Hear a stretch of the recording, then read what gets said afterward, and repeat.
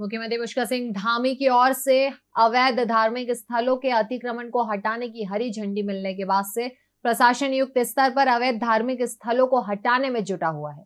लेकिन अतिक्रमण की कार्यवाही में अवैध मजार को हटाते समय मुस्लिम युवकों ने हंगामा शुरू कर दिया और माहौल बिगाड़ने की कोशिश करने लगे।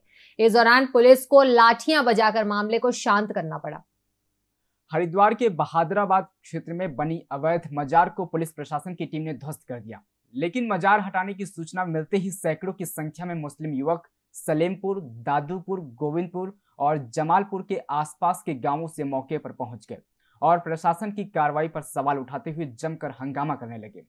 हंगामा बढ़ने और सड़क पर जाम लगता देख पुलिस को लाठीचार्ज करना पड़ा। वहीं विरोध प्रदर्शन कर रहे मुस्लिम युवकों ने आरोप लगाया कि जानबूझकर एक ही धर्म के धर्म स्थलों को टारगेट करने की कोशिश की जा रही है।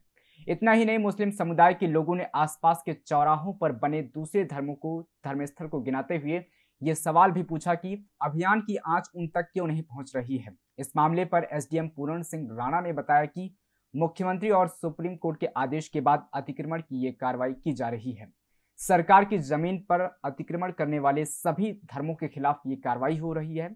किसी के साथ भेदभाव नहीं किया जा रहा है। माननीय सुप्रीम कोर्ट के द्वारा और हाईकोर्ट के द्वारा बहुत ही विस्तृत रूप से ऑर्डर पारित किए गए हैं कि जितने भी लोगों के आने जाने के रास्ते हैं उसको विदाउट एनी डिले अगर इस पर जुडिशियल इंक्रोचमेंट है या कोई धार्मिक स्ट्रक्चर है विदाउट एनी डिले रिमूव किया तो उसी क्रम में आज जो यहाँ पे मज़ार नहर की पट्टी पे इलीगल रूप से इस्टेब्लिश किया गया है उसको रिमूव करने का की है। वो खबरें जो आपके काम की है वो खबरें जो आपके लिए ज़रूरी है। हर आम और खास से जुड़े मसले। हर मसले का सटीक विश्लेषण। हम करते हैं सत्य का अन्वेषण।